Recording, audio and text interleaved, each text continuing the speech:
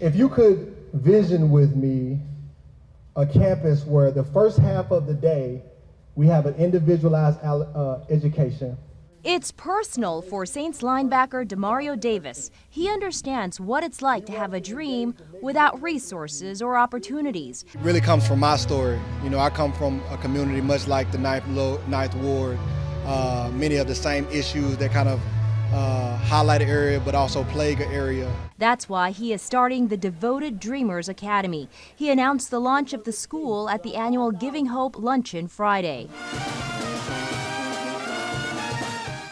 It will be a school for the youth who dream of going into professional sports. We focused on education, fundamentals, and we focused on putting mentors around these kids in these inner city impoverished environments.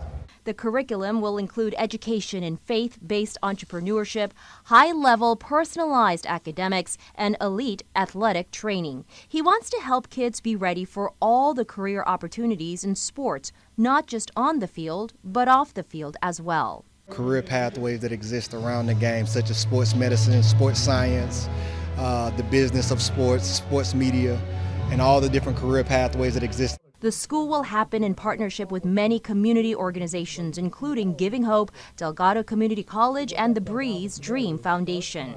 We are constantly looking to address the greatest needs of the community. Um, he's done so many incredible things with his foundation, but this project is going to be extremely unique. A vision to transform the city by investing in young people with a dream. So many of our kids in this in New Orleans don't have hope. No one's giving them a pathway. So this school is one of the few schools that are going to give them a pathway. We just want to provide a vehicle where we can provide a lot of change.